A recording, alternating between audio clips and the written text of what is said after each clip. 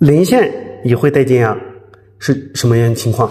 我们电工呢，通常在维修线路的时候，总会遇到这样的现象：火线带电压是正常，但是啊，零线呢，它也会带电压。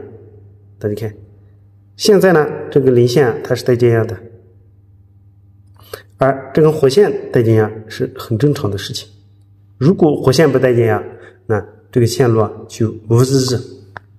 零线带电是由什么原因造成的？有哪几种情况会导致啊零线带电？今天呢，简单的来和大家说一下。那首先第一种我们要考虑的就是啊，这个零线呢发生了断开，断开的情况下呢，零线会带电压。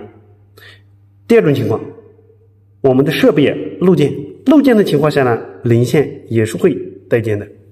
那第三种情况，变压器的三相负载不平衡导致零线上的电压升高，零线也是会带电压。第四种，把零线呢当做地线来使用，这个时候呢，零线也是会带电压的。那我们平常遇到最多的现象就是啊，零线断开了，断开的情况下呢，零线带电压，而且带的电压和火线是相等的电压。火线上有多高的电压，那零线上就有多高的电压，这是啊非常危险的。这个时候，如果我们运手去触摸，肯定会被触电。现在呢，我们来看一下这两个零线和火线之间呢接了一个负载，我们接了一个 LG 灯来量一下 LG 灯的两端，那这段呢是带电压的，我们量一下这一段，这段呢也是带电压的。眼镜笔发亮。现在我们呢，首先要考虑第一种，也是啊最容易发生的零线有可能就断开了。那零线线路这么长，我们该去哪里找？是哪里发生了断点？在哪个位置找到断点呢？我来教给大家一个方法。我们可以啊用这种万用表，然后把万用表呢打到交流电压档，大家看。我是如何查找的？表上呢一般有两根表笔，我们把一根表笔啊悬空，然后顺着手呢这样缠绕几圈，我们多缠绕上几圈，没有任何的影响。现在用另一个表笔呢，我们来查找。那查找的时候，大家看，当我们把这个表笔呢放到这个零线上的时候，万用表上呢。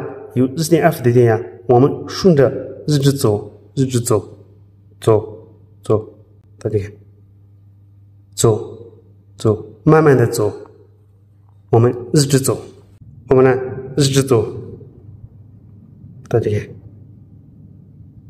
一直走，走走走走，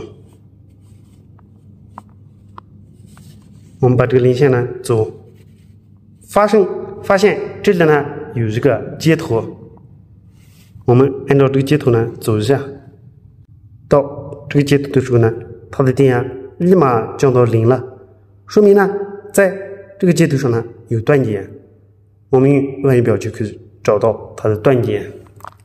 那这个部分呢就发生了断点，我们只需要把这个接头呢接好，那这个零线上的电压立马就会消失，这就是。零线发生了断点之后，零线上会带有电压，这是啊发生最普遍的现象。把这个方法分享给大家，希望啊对大家有所帮助。感谢大家的观看，我们下个视频呢再见。